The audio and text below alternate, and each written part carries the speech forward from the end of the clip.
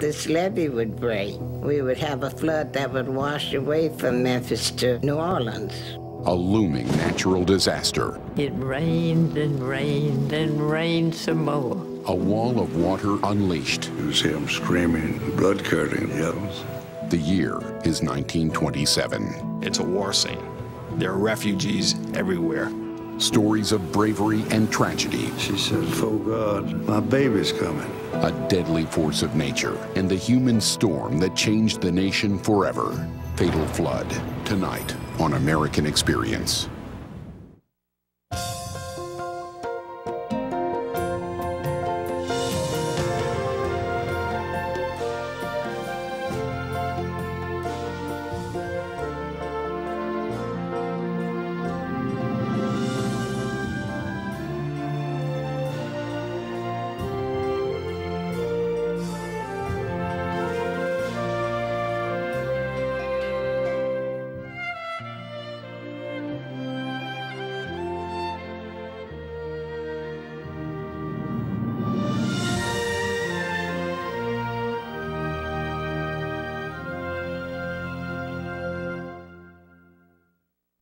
American Experience is made possible by the Alfred P. Sloan Foundation to enhance public understanding of the role of technology. The foundation also seeks to portray the lives of the men and women engaged in scientific and technological pursuit.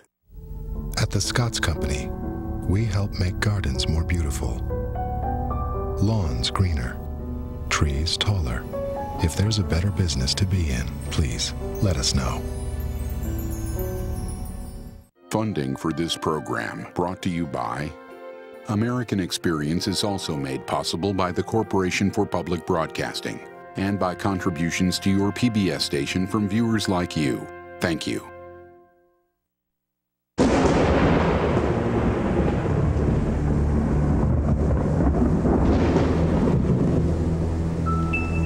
Well, the winter of 27, it started raining early in the year that year, January, February. Rain seemed like every day. It rained and rained and rained and rained some more. It just looked like it would never stop. The river kept coming above flood level. And it was rumored in all of the papers and things that if this levee would break, we would have a flood that would wash away from Memphis to New Orleans.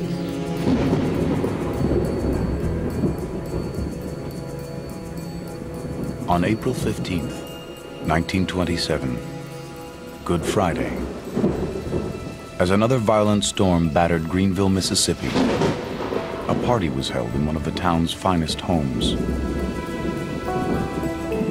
As the rain intensified, guests were drawn to the windows. Just beyond their view, the Mississippi River was rising to unprecedented heights. A burst of thunder shook the house and the party fell silent. All eyes turned to one man, Leroy Percy. The former senator was one of the most powerful planters in the Mississippi Delta. Senator Percy, one woman asked, will the levees hold? Percy gathered a group of men and rushed to the levee protecting Greenville from the river. The levee was holding, but barely. Staring at the angry water, Percy could see that an epic battle was looming, pitting man against nature. What he couldn't see was that a human storm was also approaching. One that would pit money against honor, black man against white, even father against son.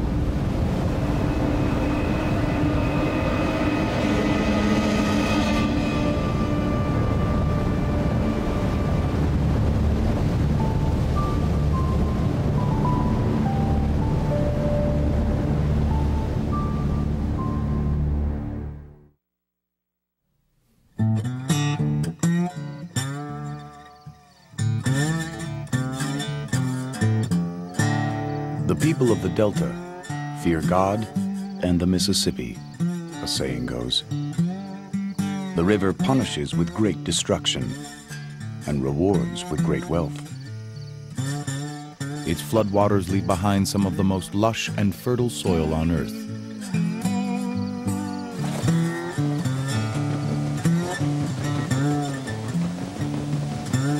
For half a century after the Civil War, Delta planters had been richly rewarded by the river.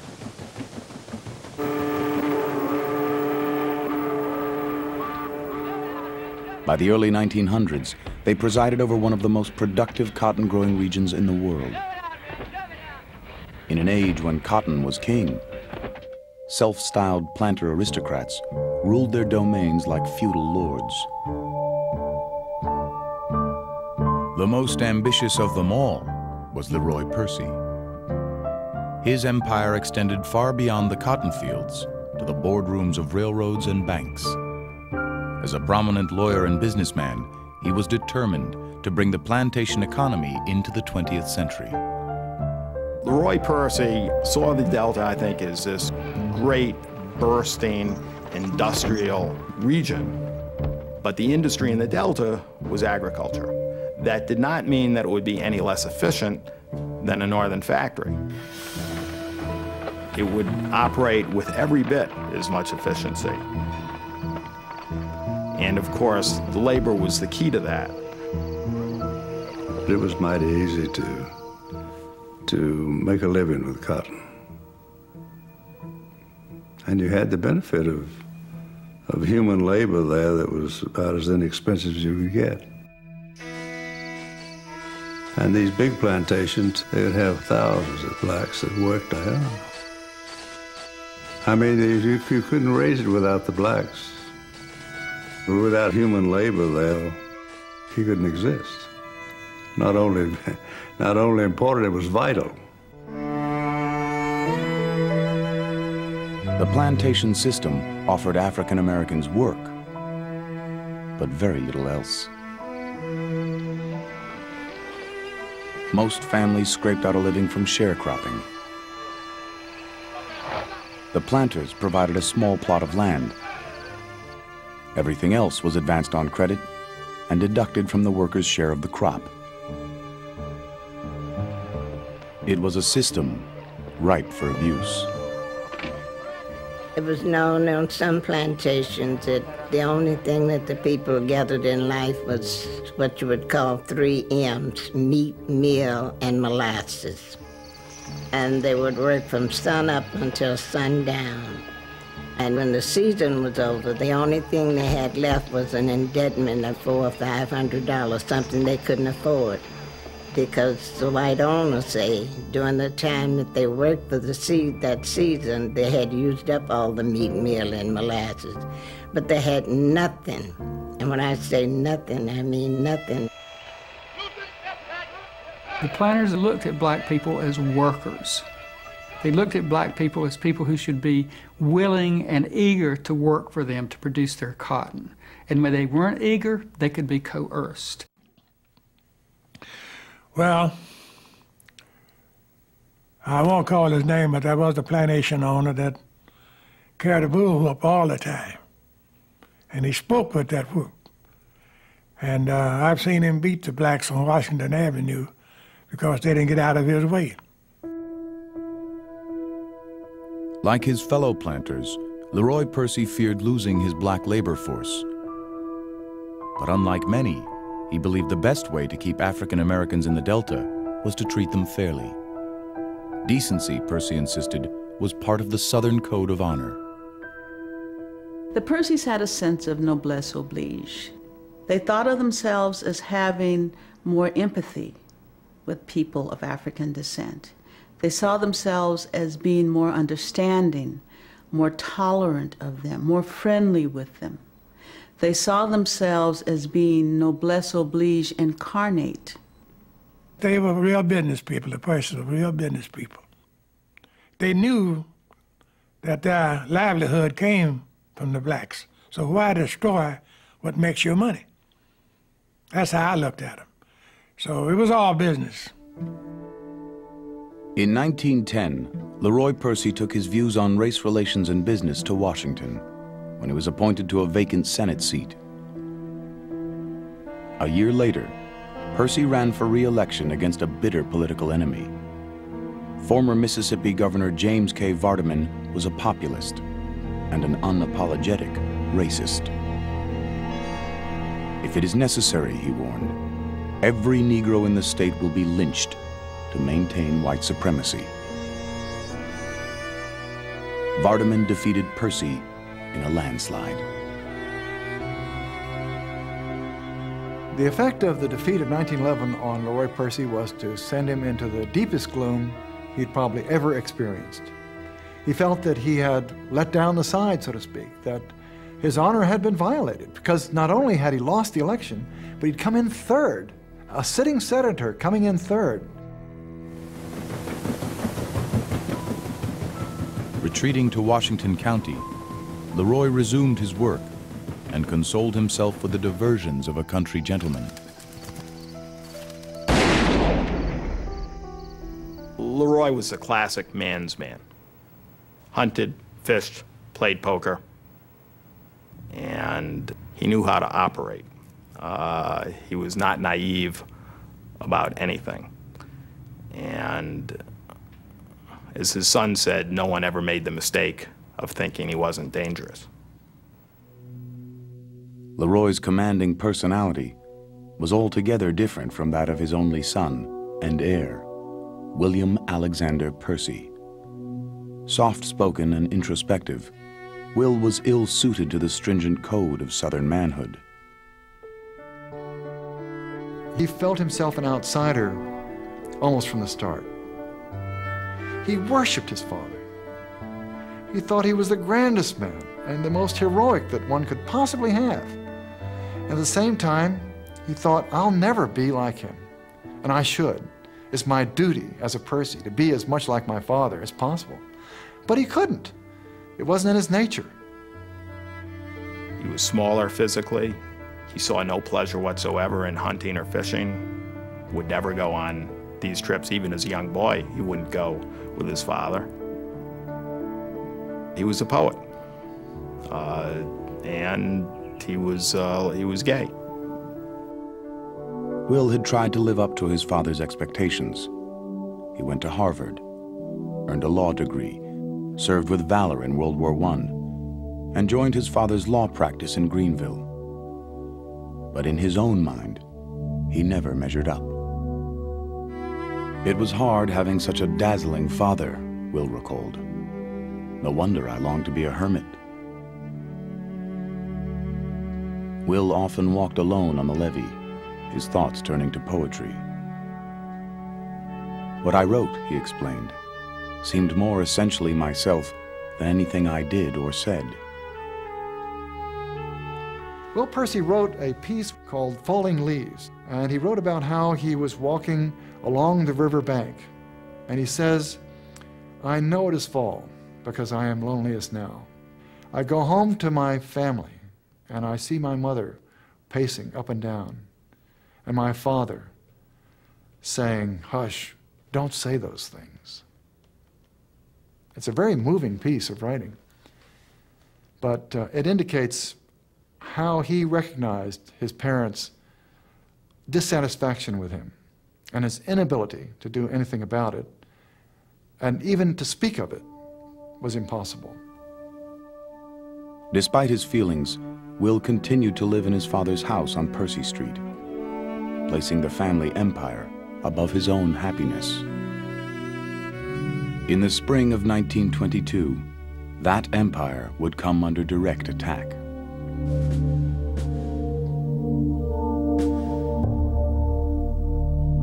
The Ku Klux Klan was gaining ground throughout the country. Klan supporters dominated the state governments of Colorado and Indiana, they helped elect the governors of a dozen states. By the 1920s, the Klan had swept over the Mississippi Hill Country and several counties in the Delta. They now challenged Leroy Percy in his own domain. Percy despised the Klan. They attacked those closest to him. His wife was a Catholic, his business partner, a Jew. His empire was dependent on black labor. When he learned of a planned Klan rally in Greenville, Leroy decided to fight back. On March 1, 1922, a tense crowd packed the Greenville courthouse. The Klansmen spoke first. The Klansman starts out with his usual spiel. He's against the Catholics. He's uh, the the Pope's got this plot here. The Jews are doing that. The blacks are a threat to Southern womanhood. It was a rousing speech. It had never been opposed. Will watched his father step up to the podium. No one knew what to expect. He starts out with humor. Uh, he goes on to say that he's got a partner who's a Jew, and he agrees that the Jews need to be held in line because he points out that his Jewish partner had loaned $150,000 to people who lived in Washington County at below market interest rates. And Percy had a real problem with that. Uh, so all of a sudden he's got the audience laughing and he starts mocking the Klan. And in the end, however, he gets serious. I know the terror the Klan embodies for our Negro population, Percy declared, and I am here to plead against it. We have feasted together at the weddings of our young people. We have stood together around the graves of our loved ones. We have stood together and undivided. And he asked even the Klansmen, he said, We want you to come home, come back to this community, leave the Klan. Uh, it, it was just a tremendous speech. At the close of Father's speech, Will wrote, the crowd went wild, shouting and cheering. That evening, they passed a resolution condemning the Klan. This didn't happen anywhere else in the South. That the leadership of a rural uh, community would stand up and uh, confront and defeat uh, the Ku Klux Klan at that period is unprecedented. Our town was saved, Will wrote. Righteousness had prevailed. Leroy's victory had brought the Percys closer together, uniting them with a sense of honor and purpose. But the Mississippi River would soon threaten Greenville and test the bond between father and son.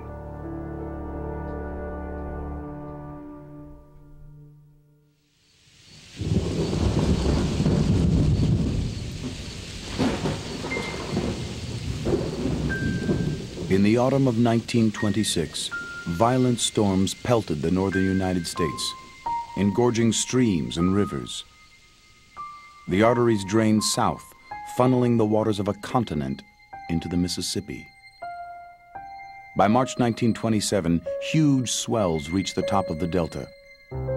Greenville was only 100 miles downriver. Just imagine a force that's more than a mile wide, maybe 100 feet deep, and it's moving at nine miles an hour. Think of what's behind that. Clearly, it's something to be feared. I mean, it's the greatest geological force in the United States. It was a force the Army Corps of Engineers thought it could control.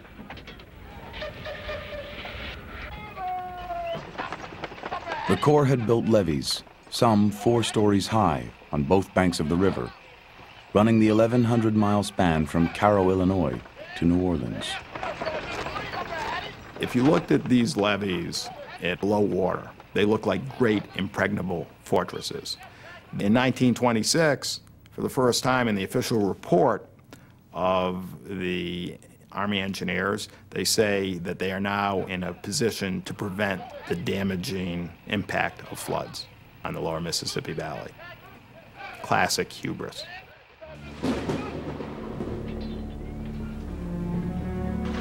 April brought record downpours. By the middle of the month, the first government-built levee crumbled in Dorena, Missouri. The surge of water pushed south, bursting more levees, flooding more than a million acres of land and leaving 50,000 people homeless. The Delta was next. So here comes this crest down the river at such a volume that some rivers are actually backing up because the Mississippi is so full of water that, for example, the Arkansas River, it starts flowing backward because the Mississippi is so high, it pushes it back. So that's the kind of water we're talking about, this enormous amount of water coming down the river. When that river gets to the top of the levee and is lapping over, it is guarded. Arkansas people guard the levee against Mississippi people. Mississippi people guard the levee against the Arkansas people. Afraid somebody will blow the levee and turn the water loose on the other side. If I blow your side of the levee, you're going to get washed off the face of the earth, and I'm going to stay dry. Because the water didn't come my way, it went your way. The wall of water kept pushing south. Levees began to collapse along the Arkansas River. It was already the worst flood on record, and it was aiming all its force at Greenville. In desperation, Percy and his fellow planters pulled their workers from the fields to do battle with the river. They became part of an army of 30,000 men, including convicts, who struggled to raise the height of the levees with rows of sandbags. Still, the river continued to rise. When even more men were needed on the levees, Greenville's police resorted to force. They start going through Greenville and taking all of the black men. This is another thing that I can remember so plainly. All of the black people, even kids out of school, to go and protect the levee. And almost man for man, or boy for boy, the whites had guns on, and the others had nothing but picks and shovels. They had shotguns. They just herded them up and drove them to the levee. Right down Nelson Street, that was the Negro drag at the time, and they just got them off the streets and just carried them right down to the levee and taught them to work.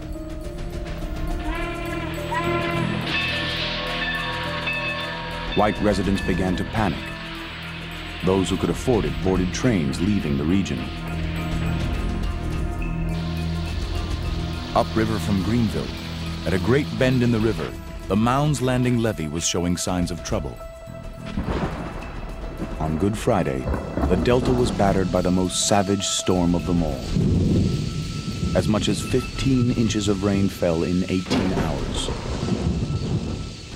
One resident recorded in his diary, Heaven spare us. The Mounds Landing levee was beginning to crumble. It's cold, damp, rainy. The break is increasing, the water's washing over top of the levee. And according to some accounts, the, the levee starts feeling loose. The water started rising an inch an hour. That's fast. That's two feet a day. There is a limit to how high you can build sandbags. They didn't think it was gonna hold. In fact, it was getting worse by the minute. They throwing all the sandbags in there they could, and just but just kept getting bigger and bigger, and they, they couldn't stop it. The men working on the sandbags know full well there's no way that this thing is going to hold. And they start to abandon the position. And the National Guard officer orders rifles held on them and threatens to shoot them if they leave. And these fellows were filling their sacks with sand. And my stepfather, he noticed that at the bottom of the levee, some water started coming out.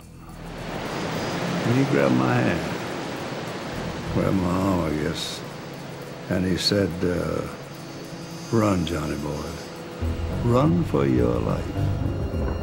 And the levee starts shaking and rumbling. And men start running, and all of a sudden, a big section of the levee, several hundred feet wide, just sort of pushes out and carries men with it. Just hear them screaming, yelling, blood curdling yells.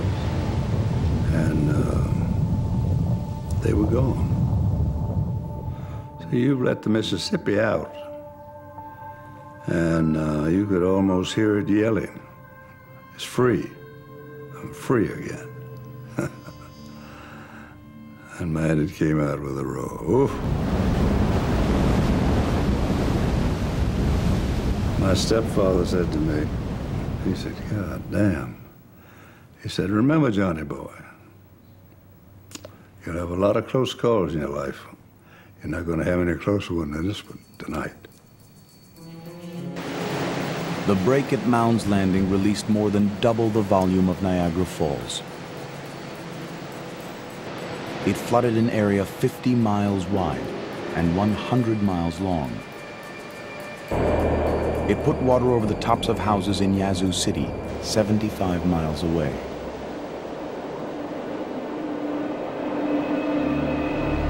The deluge was cascading south through the cotton fields of Washington County. It was only a matter of hours before the water reached Greenville, inundating the city from the rear. Leroy Percy now faced total disaster. The river was seizing his empire. Up in his room, Leroy's son was writing poetry. Will had been working feverishly through the night. I was in a writer's tantrum, he would later confess. The water rolled toward Greenville, wiping out forests and farms. It was a sight to see, there's no doubt about it. It's hard to describe. It just, it just had a force to it. It was just. Oh my Lord, it's coming from every which way. I was so scared, I didn't know what had happened. I'll tell you the truth, I didn't know. Come late that evening, and you couldn't see nothing but water. You hear people hollering, you know, scared and running every which way, you know. And people get in their boats and things go searching for them, you know. When it got light enough for us to see, you could see horses, and cows, and dogs and everything else right in that water drowning. I thought we was all going to drown. The flood finally reached Greenville in the early morning hours of Friday, April 22nd. I looked at and said, Oh, I see it coming. It's coming.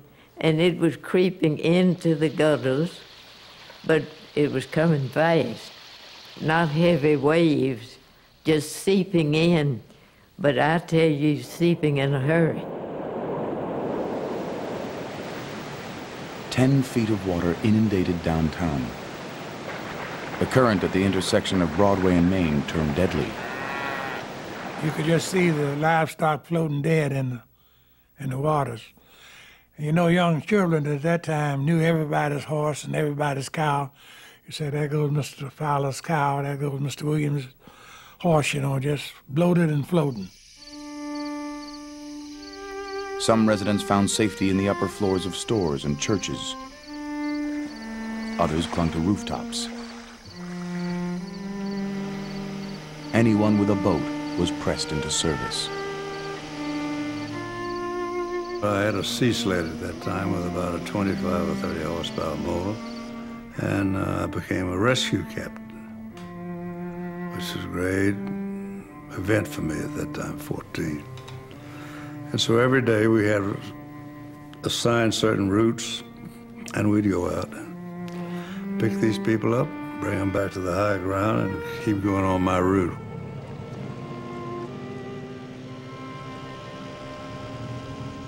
But I saw these three people, two kids, and what I thought was a very fat black woman on top of a cotton house. And uh, as she got in, she said, "For God, my baby's coming."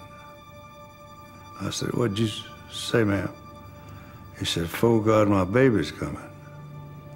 Well, I said, "Can you just wait, hold it 40 minutes, said, oh, we, I get, get it to the high ground and they look after you. She said, no, so said, he's coming now. And I thought, what in the world do I do? And she said, don't worry, said, just be real gentle with him. Said, just take his head and pull him slowly. And said, he'll come on out. I'll push. And she pushed and I pulled. And here was a little baby boy. I then dipped him in the Mississippi River, the flood water, and uh, hit him a couple of times, and he started crying. And she says, give him to me, I'll take him on my breast. And she lay down, she was still in the dirty water, and she took his baby, put him on her breast. Well, I think I cried. That's all I remember. Uh, my first experience of being a midwife. Anyway, I untied the boat, and when we got close to the high ground, I hollered at him. I said, look, I've got a new baby, just born. I got the mother up, and as she stepped out of the boat, she turned to me and said, what's your name, son?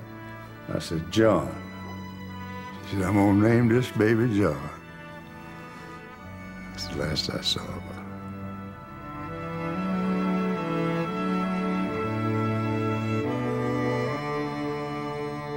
An amazing woman. Listen. An amazing woman.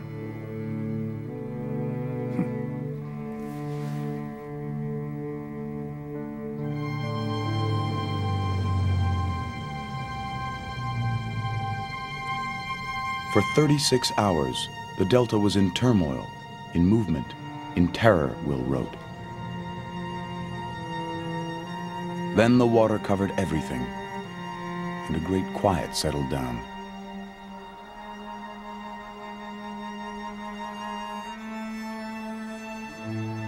Father looked somberly over the drowning town, Will noted. He was tired. But there was work to do. Leroy immediately began raising money for his devastated community and appointed his son head of the Flood Relief Committee. The task before Will was enormous.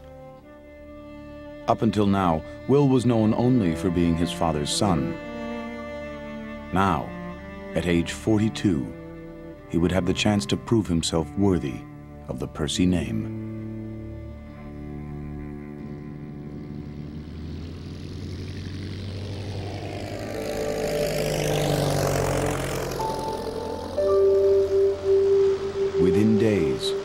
Deluge had covered 27,000 square miles, an area the size of four New England states.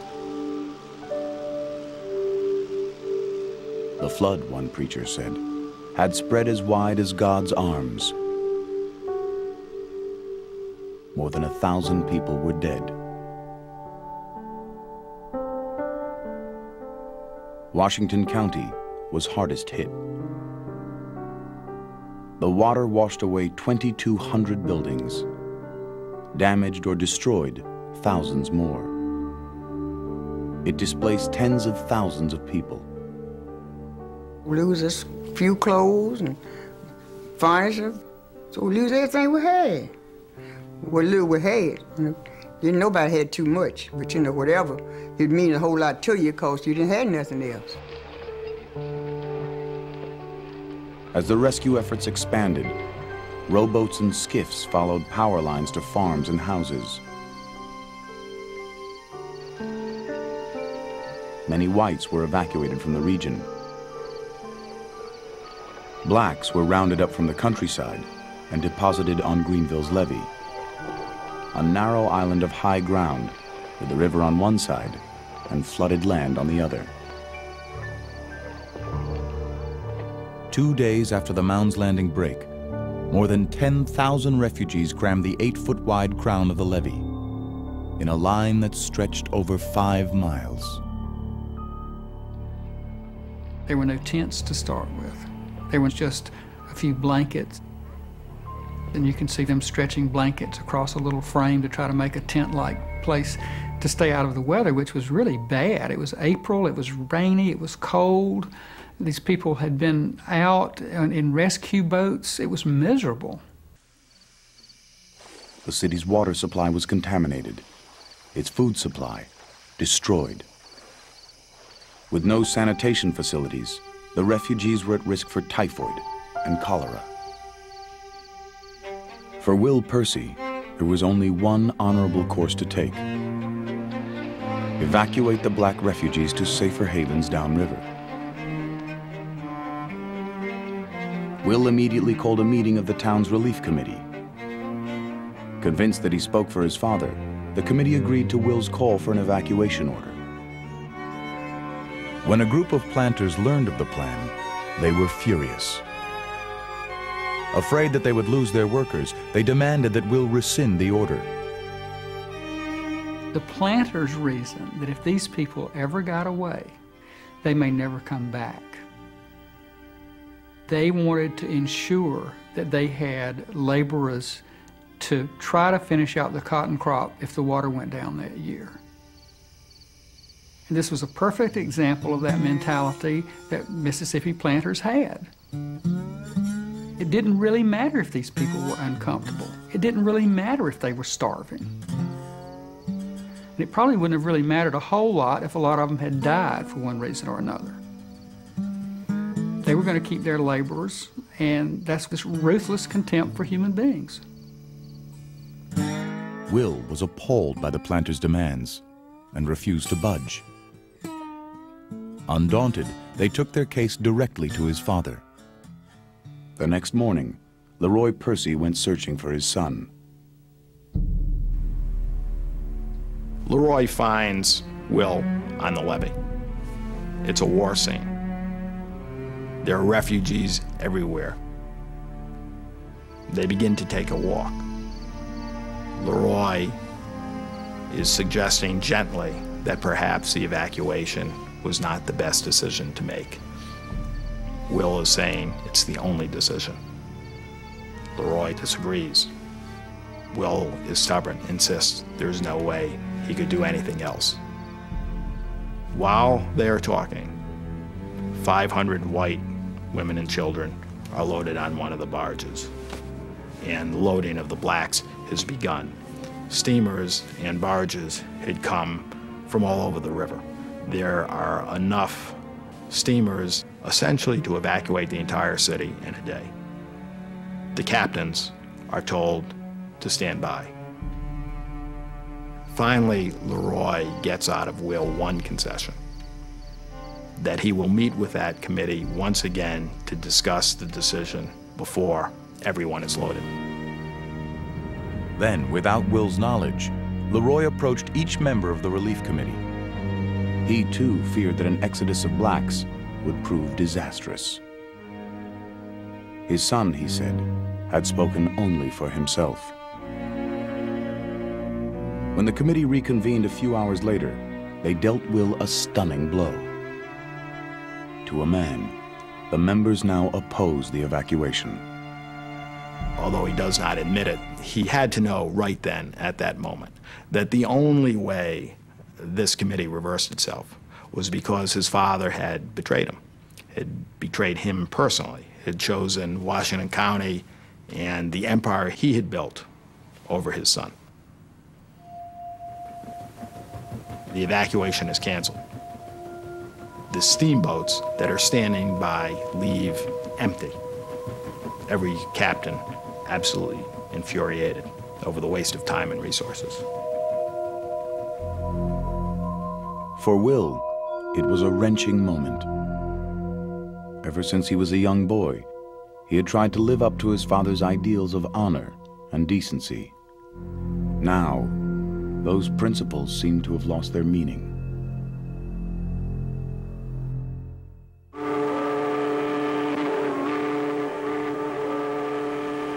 The next day, April 26th, an emissary from the federal government was on his way to Greenville.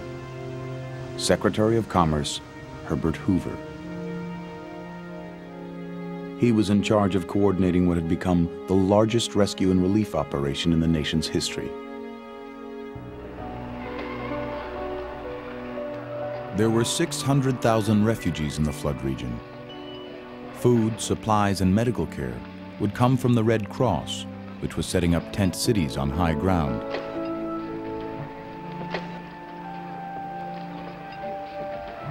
By the time Hoover arrived in Greenville, he was expecting to see an evacuation underway. But when he met the younger Percy on the levee, Will proposed a completely different plan. Greenville would become a Red Cross distribution hub. The blacks on the levee would provide the labor. Hoover approved the new plan, then left town.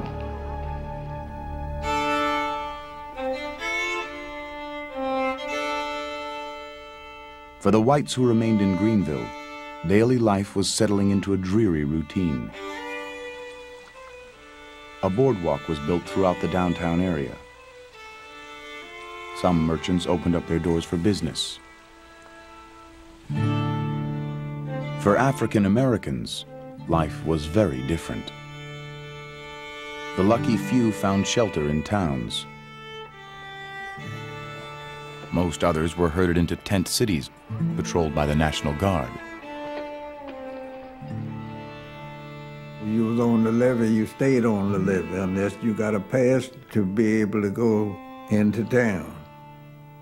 You had to have a tag on you. You was tagged. When you got ready to give you a, a shot, you had to get another tag. Your chest was full of tags. You didn't go nowhere unless you got permission to go. You had to have a tag on you. And it was just, it was really slavery. Some guardsmen began to abuse their power. Reports spread of beatings and rapes in the tent cities. Blacks outside the camps were infuriated, but powerless to help. My brother come down there to see about us, but he couldn't come into camp. So I went down in the bushes to see him. And while I was down there, one of them soldiers walked up on me. Get up. Put a pistol on me. And my brother had a pistol too. Now my brother wasn't in, wasn't a refugee, but my brother put the pistol on him and made him leave me alone. And of course, my brother went, hit the road, went on, came on back to Greenville.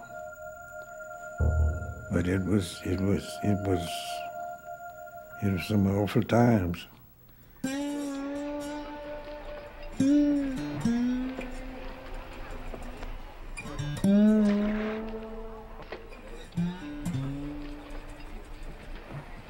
A week into the flood, life in the camp was becoming unbearable. Beyond the lines of tents, thousands of starving livestock shared the narrow stretch of levee. Dead animals were thrown into the foul water. The stench was overwhelming. When the first Red Cross supplies arrived in Greenville, they were not distributed on the basis of need. The whites would take what they wanted or give it to who they want. Naturally, the whites had better means of getting it. First come, first served with the whites.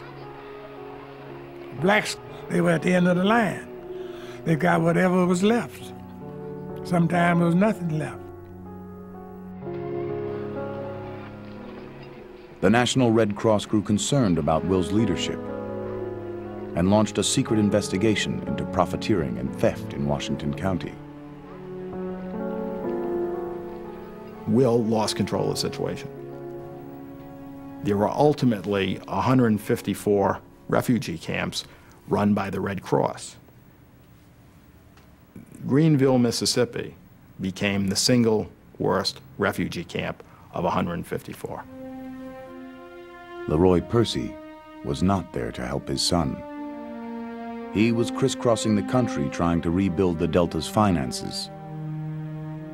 To falter or fail now, he warned, would mean the abandonment of an empire.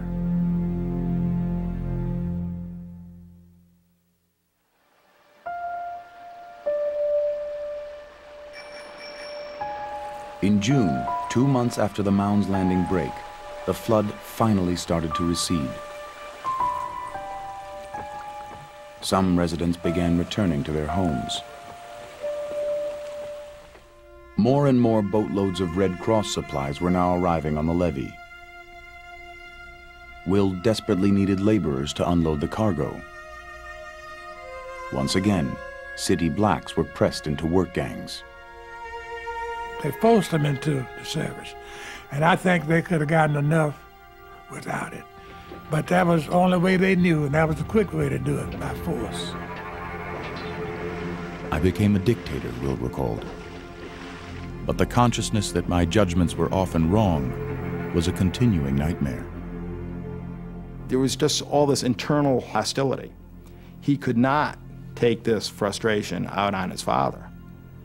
Will had been humiliated, and in his humiliation, he began to humiliate uh, the black men and women and children on the levee. And there was no place else for this frustration to go. An influential black newspaper proclaimed that Will Percy's prejudice against blacks is as bitter as gall. Two and a half months into the flood, racial tensions came to a boil. There was one black gentleman who had actually just gotten off the levee after working all night. He had gone back to his house to sleep. The police were going through the black neighborhoods looking for men to bring back to the levee. A police officer went up to this gentleman on his porch and told him to get in the truck. He told him, You go to work, and the answer was, No, I've been to work. So he says, You're supposed to work, go when I tell you. And the man got up to go in the house, and he shot him down on his front porch. And I don't think it was a black person with dry eyes in that town. All of a sudden, the whole city is electrified, incredibly tense over all of this. Uh, there is real fear in the white community that who are vastly outnumbered that there is going to be a race war. Will Percy marched into the center of the storm. He called a meeting of the black community at a local church. When he arrived, the church was empty. One at a time, the black leaders began to enter. Amid an uneasy silence, Will rose to the pulpit. The quiet poet suddenly transformed himself into an angry preacher. You sit before me, sour and full of hatred, Will declared. You think I am the murderer. I am not the murderer. That foolish young policeman is not the murderer. The murderer is you. Your hands are dripping with blood.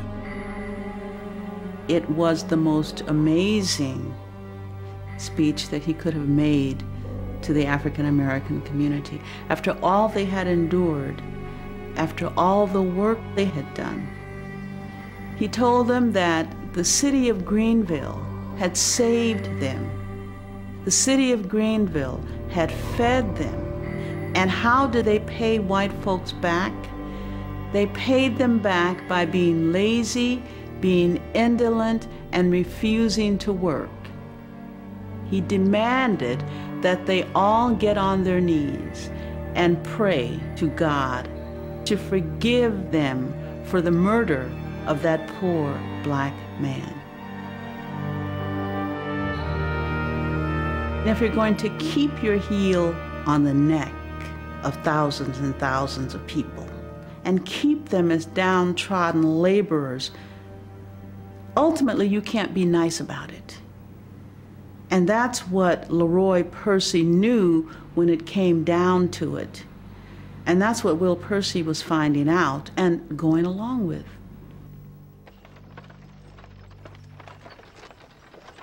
the fragile bond between the Percys and Delta Blacks was broken. Our people have the most troubling road to travel, Leroy wrote to a friend. Some will be able to make it. Many, broken and discouraged, will fail. In a year and a half, Leroy Percy was dead. His dream of empire swept away with the torrent of water.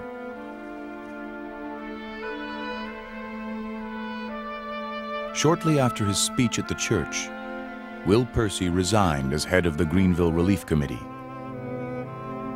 The following day, he left the Delta for an extended trip to Japan. He would return to Greenville to rebuild his father's plantation. There, Will would live and die in the house where he was born. He would never write poetry again. For many African Americans, the flood of 1927 marked the end of an era and the start of a journey. As the Mississippi River finally retreated to its banks, they began heading north. When you go north, there were chances of work, you know, getting something. If they had remained there, with cotton 50 cents a pound and meat meal and molasses, how long could they have existed? So many people wanted to leave here to go to Chicago. And I believe some of them rode free, so many of them got on the trains. In Greenville, you had the train was at ground level, and they were just all around waiting, and pushing to get on the train. I sure didn't want to go to Chicago. Everybody was going but me.